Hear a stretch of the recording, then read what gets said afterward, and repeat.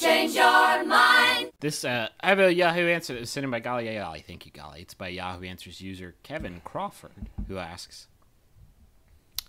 If I go to Italy and talk with an Italian accent, would I offend the Italians?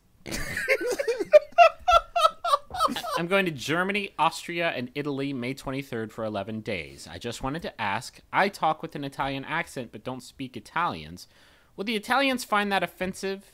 It would be the same as if anyone from Italy rolled up to America and was like, "Now I'm going to speak with an American accent." Like, I don't hope Only it for wouldn't that. be. Only it wouldn't. It wouldn't be a thing because I don't would think be like, "Como están, mi amigo? Donde está la Hablo biblioteca?" español? ¿Dónde está la biblioteca? Can't tell me, amigo.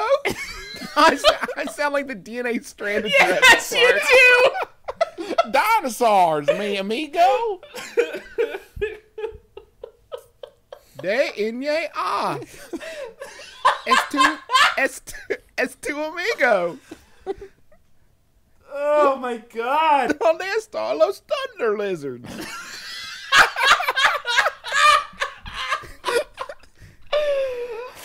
Conmigo a Jurassic Park.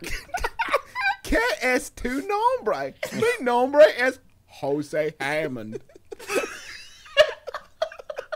¿Qué es la problema, mi amigo? Triceratops.